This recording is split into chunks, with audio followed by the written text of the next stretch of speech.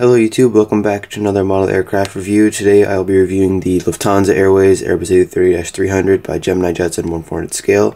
Um, I'm also doing this review right after I woke up uh, for school. Um, still got an hour before I have to leave for school, so I thought I might as well get a video out. So um, hope you guys enjoy it nonetheless. Let's go ahead and get started with the box. So this is um, smaller Gemini Jetson box for since it's it's a wide body aircraft, it gets a pretty small box. It's the same size as uh, the A320 box, which is interesting considering it's a much bigger aircraft. Um, but anyways, at the top we have the Gemini logo slogan um, there, and then we have the picture of the aircraft in the middle. Lufthansa logo, Airbus A330-300, the, the name of the aircraft, which is Minden, and then the registration D-AIKA. Um, and then here's the bottom side and then the top and then the other side. Uh, and then here's the back. Uh, plane climbing Gemini has features and then this is a Lufthansa officially licensed product and then 2013 release. And then um, I really like how since you know since you know Gemini just put the uh, name and registration of the plane on the box it looks it's, it looks really nice um, and I really love the Lufthansa older colors. They look awesome. And then uh, here's the inside of the box. Some info on the A330, possibly if you want to read that. And then some info on the aircraft itself uh, right there. And this was the first A330 delivered to Lufthansa and it was delivered in 2004. Uh, there's the window to see the aircraft and that concludes the box. Um, I really like the look of it. Like I said, I love the uh, old Lufthansa livery colors. It looks really nice. Um, so now I'll go ahead and show you guys the model.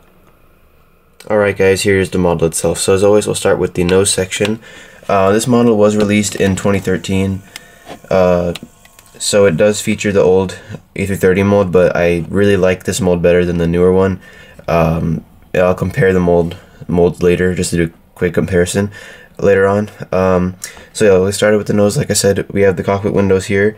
Um, for some reason, all these European airlines they do like this mask thing around the cockpit windows. It looks really cool, interesting. I don't know why they do it, but yeah, as you can see, there's a little mask type thing around the cockpit windows. Uh, we've got the Lufthansa crane right there, the Star Alliance logo, the L1 and L2 doors, um, the Lufthansa titles, and then Airbus A330-300, and then the name of the plane, which is Minden. Uh, Minden is a, it's a small town or village in Germany, um, and Lufthansa names I think all of their planes after German cities and towns, um, which is really nice, just like Turkish Airlines does. Um, and then on the nose gear door we have KA, which is the last two letters of the registration. The landing gear, nose gear, uh, landing gear do roll by the way. Um, and then moving on down, we have the to the wings. We have the inboard landing lights there. Uh, and then just moving right here, we have the Rolls-Royce Trent 772B-60 engines, which are nicely detailed. You can see the fan, the reverse thrust detail, um, the fan blades, if you can see them inside right there, nice. Um, and then, you know, nothing much on the wings. You just have the nice, you know, flaps, spoilers, all the control surface detail. We have the wingtip there, and then the navigation light there. Uh, and we have the, obviously there's no overwing exits, it's A330s don't have that. Um, we have the another exit door here, uh, the final the aft door back here, and then Lufthansa.com, which is their website, and then the, the registration D-AIKA or Delta um, Alpha India Kilo Alpha. We've got the Lufthansa tail uh, with the crane and KA back here. And then there's a little hump like dish thing right there, but it's just 2D. It's not like 3D. It's just painted on there. Beacon light and then another dish SATCOM right there. Um, so yeah, then there's the horizontal stabilizers here, and then the APU, um, which is uh, this little silver thing there. Um, so yeah, uh, let's go ahead move on to the other side. Uh, same basically.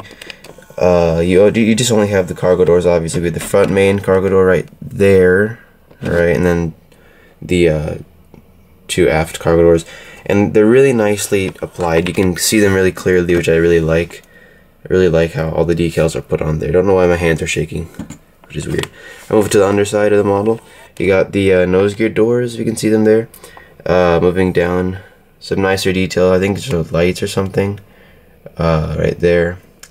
Gemini Jets logo, stand hull, the landing gear, they don't pivot, but they do roll, which is nice. We have the nice detail of the landing gear doors, which is awesome. And then underside of the wings, and then yeah, so that's basically it for the model. Solid 10 out of 10, uh, even though it doesn't have uh, antennas or anything, it's definitely uh, better than what you would expect from a model in 2013. Um, and then here's the newer Gemini A330 mold. As you can see, it features antennas, rolling gear. But the thing I don't like about it is that if you look at this, the model kind of looks like it's pushing all of its weight down on this on the landing gear, whereas on this model it's just evenly balanced.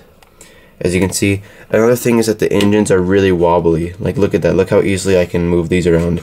They can break really easily, whereas on the older mold, you can see it's so stiff, really rigid and stuck onto the wings, uh, very sturdy, which is amazing, which is good. Um, and then that's probably like the only thing. Other than that, this mold is a lot more detailed um, than this one since it's got antennas. Um, but like obviously the look of it doesn't look that good, especially like I said, it looks like all the weight's being shifted onto the gear, main gear, um, whereas this one looks more balanced, which is great. It looks much better, I guess. Um, so yeah, um, really love this model. Would definitely recommend it if you guys can find it.